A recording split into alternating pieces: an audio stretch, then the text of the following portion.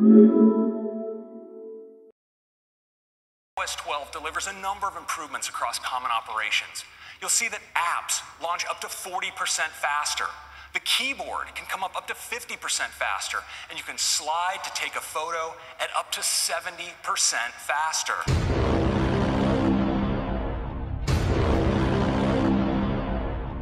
What's up guys, it is your boy Alex, hope you are feeling really well and this is the video which you guys requested so much. It is about the iPhone 5s and its performance. So I'm gonna compare the iPhone 5s on the iOS 11.4, not the 11.4.1 because it's pretty much the same thing, uh, to the iOS 12 because iOS 12 is the new one and it brings performance improvements. So let's see if it's any faster. Oh, and before we're gonna move on to the test, I wanted to remind you guys that iMobie's contest is still running and you can enter it at any time up to 11th of June. And of course, they're giving away a few products, the iPads and the Google Home. It's that simple to enter. Just click on the button and you're in. Just share it on your social media. So good luck to you. And first of all, I wanted to start off with the speed test. So apps opening test that's what we usually use on our daily basis, the most important thing. So Apple says it's up to 40% faster, so let's see if it is. Okay, so the iOS 12 is on the left and the iOS 11 is on the right, and spoiler alert, iOS 12 is pretty much the same as the iOS 11 in terms of just apps opening and performance, so I didn't notice any change like whatsoever. At the end we will see the numbers of 57 seconds on the left and 58 on the right, so it makes absolutely no difference in terms of this app's opening opening. This is what really matters, just day-to-day tasks and stuff like this.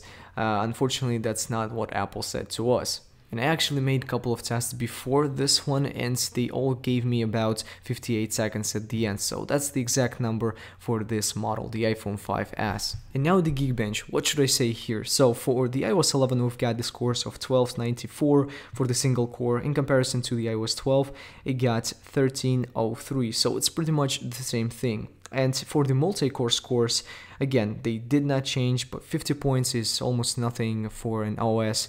Uh, if it was like maybe hundreds or 150, that would be a huge margin, but 50 points is almost nothing. However, if you take a look at how a camera opens on the lock screen in comparison to the iPhone 6s, that is blazing fast. As you can see, that is extremely fast. On the iPhone 5s, it's one to one as it is on the iPhone 6s. So that is a huge, huge victory over the iOS 11, of course. And what about this sharing sheets which Apple talked about on the presentation? Well, it is much much faster than it is on the iOS 11. So uh, this right here have the iPhone 5s on the iOS 12 and the iPhone 6s on the iOS 11. When I first did it, it was just lightning fast, much much faster than the iPhone 6s. So there is a definite improvement in here. So what should I say more? Well, Apple did a great job in terms of the performance, really. It's it's just the first beta and of course we cannot, you know, seriously compare it to the iOS 11 on the latest version. Uh, but I can say that Apple did a great job. They have been just, you know, uh, reworking everything, rewriting every algorithm of that animation and stuff on every single iPhone and in iOS 12 in general. So, of course, the further improvements are going to be coming. In the next beta or maybe in the iOS 12.1, we're going to see a huge, huge difference, but it's definitely for good. Anyways, guys, I think that should be pretty much it.